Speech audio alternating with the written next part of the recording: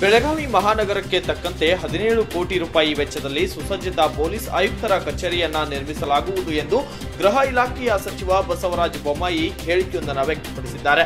ಬೆಳಗಾವಿ ನಗರದ ಕಾಲೇಜು ರಸ್ತೆಯಲ್ಲಿ ಪೊಲೀಸ್ ಆಯುಕ್ತರು ಕಚೇರಿ ನಿರ್ಮಾಣಕ್ಕೆ ಇಂದು ಶಂಕುಸ್ಥಾಪನೆ ನೆರವೇರಿಸಿ ಮಾತನಾಡಿದ ಗೃಹ ಸಚಿವ ಬಸವರಾಜ ಬೊಮ್ಮಾಯಿ, ಪೊಲೀಸ್ ಆಯುಕ್ತರ ಕಚೇರಿ ನಿರ್ಮಿಸಬೇಕು ಎಂಬುದು ಬಹಳ ದಿನಗಳ ಬೇಡಿಕೆಯಾಗಿತ್ತು.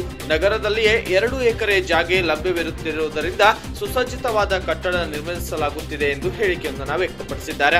ಇನ್ನು ರಾಜ್ಯಸಭಾ ಸದಸ್ಯ ಈರಣ್ಣ ಕಡಾಡಿ, ಶಾಸಕ ಅನಿಲ್ ಬೆನ್ಕೆ, ಮಾಜಿ ಶಾಸಕ ಸಂಜಯ್ ಪಾಟೀಲ್ ಮತ್ತಿತರರು ಶಂಕುಸ್ಥಾಪನೆ ಸಮಾರಂಭದಲ್ಲಿ ಪಾಲ್ಗೊಂಡಿದ್ದು, ಇದಾದ ಬಳಿಕ ಕಟ್ಟಡದ ನೀಲನಕ್ಷ ವೀಕ್ಷಿಸಿದ ಸಚಿವ ಬಸವರಾಜ ಬೊಮ್ಮಾಯಿ ಅವರು ಕೆಲ ಸಣ್ಣಪುಟ್ಟ ಮಾರ್ಪಾಡು ಮಾಡುವಂತೆ ನಿರ್ದೇಶನವನ್ನ ನೀಡಿದ್ದಾರೆ. ಈ ಸಂದರ್ಭದಲ್ಲಿ ಕೆಎಸ್ಆರ್ಪಿ, ಎಡಿಜಿಪಿ ಅಲೋಕ್ ಕುಮಾರ್, ಬೆಳಗಾವಿ ಉತ್ತರ ವಲಯ ಐಜಿಪಿ ರಾಘವೇಂದ್ರ ಸುಹಾಸ್, ಪೊಲೀಸ್ ಆಯುಕ್ತರಾದ ಕೆ ತ್ಯಾಗರಾಜನ್ ಸೇರಿದಂತೆ ಇನ್ನಿತರರು ಇದೇ ವೇಳೆ ಸಾಥ್ ನೀಡಿದ್ದಾರೆ. Bureau report Nagesh Kumbali, S nine TV, Belagavi.